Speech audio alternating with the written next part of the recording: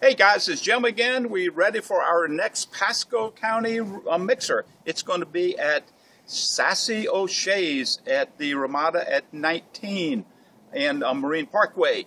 Um, we're going to have a great time, but this again is going to be a joint mixer and fundraiser because Jimbo is running for the governor of West Pasco Chamber of Commerce. And we're going to have a lot of good things happening that night. And I want to introduce you to Susie Q. She's going to tell you all about Sassy O'Shea's, and she is sassy. Hello, Rooters. I'm Susie from Sassy O'Shea's Irish Pub and Mango Cove Waterfront Seafood Grill.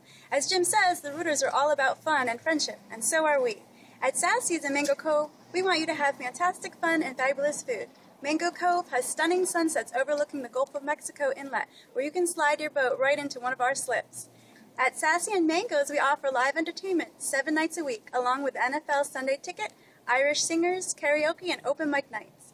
Our menus for Sassy O'Shea's and Mango Cove offer a variety of fish and Florida seafood favorites. You'll never go hungry here.